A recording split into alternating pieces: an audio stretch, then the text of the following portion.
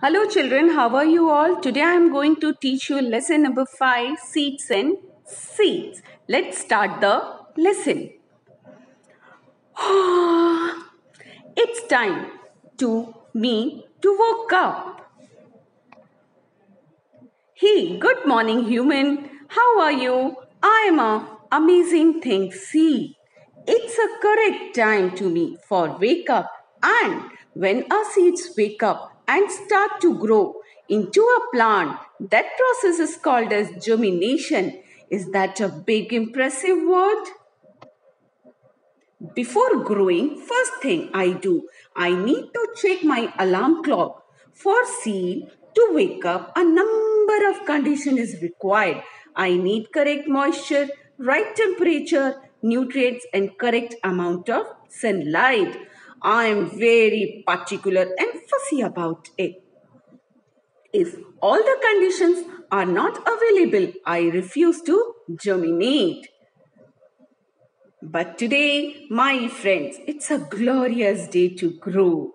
Look closely. I have seed coat to protect me, a seed leaf to supply food, to feed me until I'm old enough to prepare my food and a baby tree called as embryo.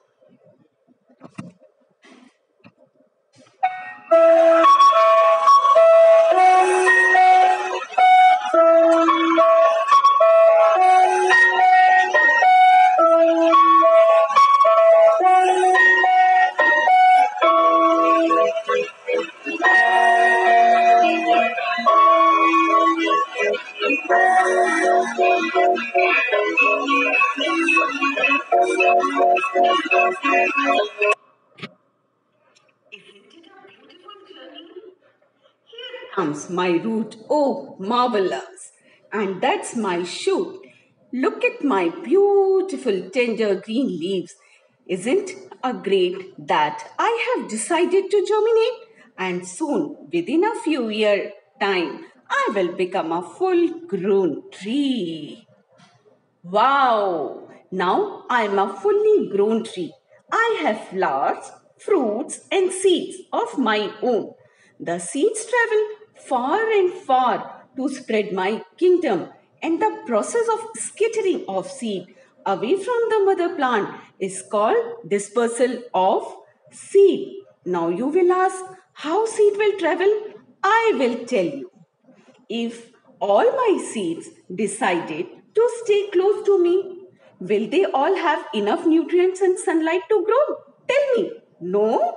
Exactly because I am blocking their sunlight and sharing their nutrients from the soil.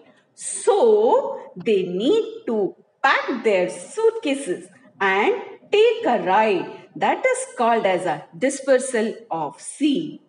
Up now you will ask, who will help seed to ride from one place to another place? Seeds have their own friend who help them to travel. They are wind, water, animal and explosion. Let me explain you one by one. First, wind. Some seeds are very light in weight and they have wings also. So they can easily fly when wind blow. The next friend is water. Seeds like coconut and lotus, they will travel through water. The third one is animal. They are the best examples for the dispersal of seed. Animal will eat the fruit and throw its seeds here and there and help the seeds to grow into a new places.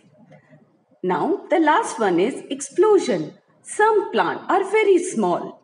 What they used to do or what they will do, the dried fruit do the explosion and due to the explosion, the seeds scattered away from the mother plant. So in this way, seed can easily disperse from the mother plant and the process of dispersal of seed from mother plant to the other places is called as dispersal of seed. I hope you understood the lesson. We will meet you soon. Thank you.